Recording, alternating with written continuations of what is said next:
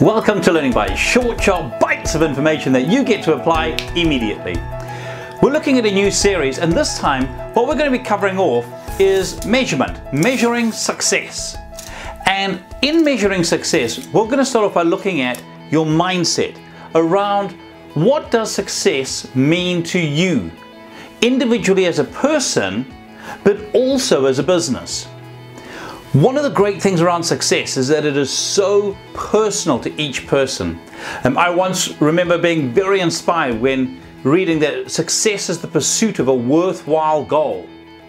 Recently, um, I came across John Wooden as a coach. He's called the world's most winningest coach. Forbes magazine listed him as the greatest coach in all of history. And this quote sums up success so well.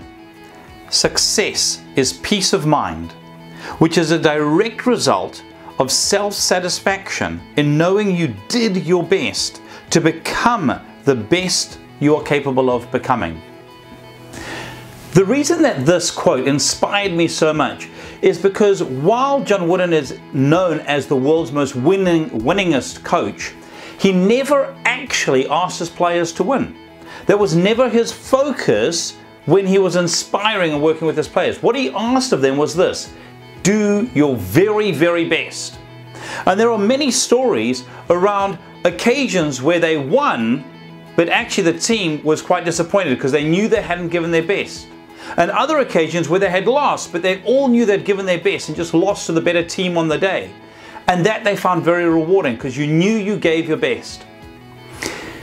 When it comes to successful mindsets, do you know whether you're winning? Do you have measures and markers to let yourself know that you're on the right track?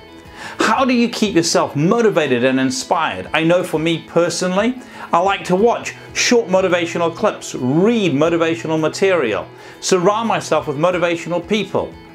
Those sorts of things keep me going, keep me inspired, knowing that I'm making a difference.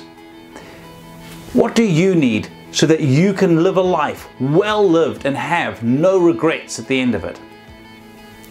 Knowing that will give you a great purpose and will get you bouncing out of bed in the morning. Here's to your success. If any of this resonated with you and you'd like some help with it, do feel free to get in touch.